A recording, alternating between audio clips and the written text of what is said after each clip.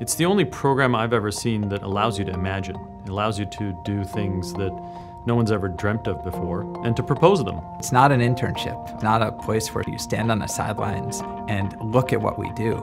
You are asked and, and, and are, are responsible for doing what we do. The exploration process is not just generating those initial ideas, but actually shaping those and going in and finding evidence, talking to experts. You come in with about 25 to 30 different people that are all incredibly brilliant, coming from all different areas. And you come in here and you have to unlearn everything that you've learned in your PhD program how to think about science, how to challenge yourself, how to challenge dogma, how to ask really bold what if questions. Fellows will get placed onto different origination teams where in those three months they'll cycle through month-long rotations with an origination team. Then each team has their own composition of folks who are thinking about venture creation in a totally different way.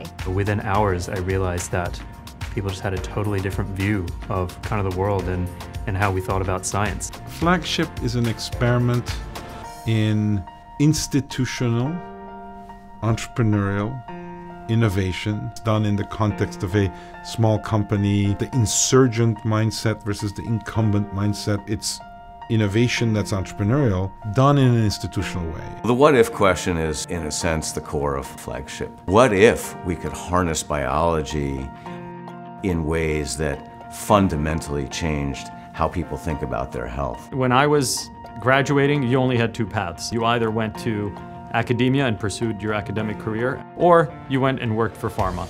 Uh, and this is really the third way and the most accelerated way to become a biotech entrepreneur. Constantly, you're getting feedback through the origination and, and exploration process from people that are working on sort of the early stage company creation, R&D strategy, and intellectual property, you name it. From engineering and manufacturing to molecular biology to cell biology, all these things have to come together to make any one of our companies work. It's the scientists that have been in academia, the scientists that have been in industry, the scientists that worked in the clinical side, the preclinical side.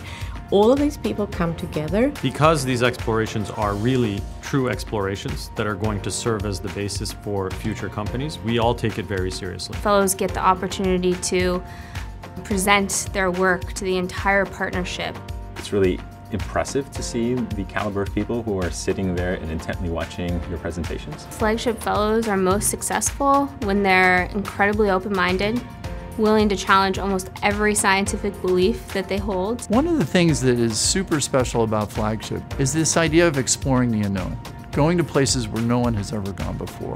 If you think about all the advances in life sciences innovations, it's creating tremendous opportunities to discover new approaches to science that were never before possible. One of the fundamental aspects of Flagship's model is the rate at which people go from inventing a technology to building out a platform company. It's a great place to learn how biotech platforms are created and built and pushed forward into the world. So we go see the Modernas and the Rubiuses of the world to see how a kernel of an idea, a PowerPoint, now has turned into an industry, a new modality. What you're actually working on will lead to companies. It's amazing to be part of this ecosystem. It's great to have, you know, a peer mentorship group that you can tap into at any time and many of the fellows have become close friends. You know that it's going to be hard, you know it's going to push you to limits that you didn't even know were possible.